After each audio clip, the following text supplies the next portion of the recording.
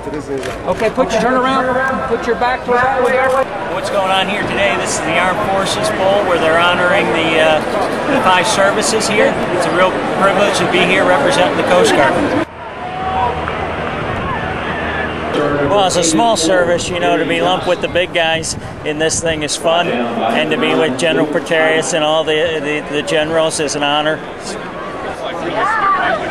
I think public affairs wise, it's great for the Coast Guard. The uh, the pre-events that we had over there with the uh, RHI, the uh, helicopter up here, Coastie, uh, you know, team effort with the auxiliary up here. Everyone sort of getting out there, and people are associating the Coast Guard with the military, which sometimes they, they don't.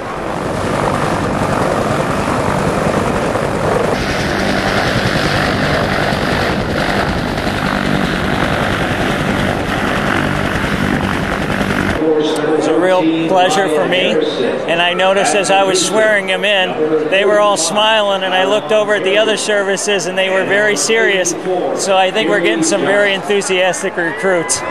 So help me God. So help me God. I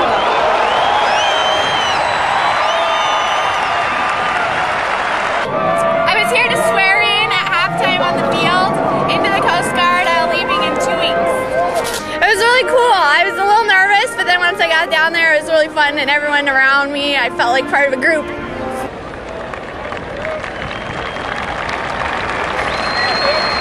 I got to be, I like I said, part of a group, and I felt like I actually was helping the U.S., even though I was just standing in the middle of a field so far. But I was really excited to be part of it and help everybody.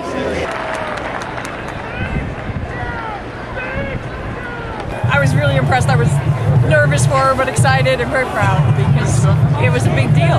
I mean, it was a very big deal. It made me realize what a big commitment and step she's making.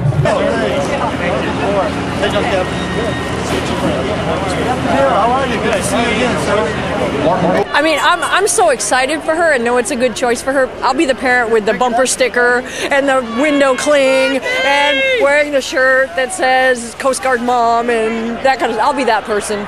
Yeah. Good luck to you.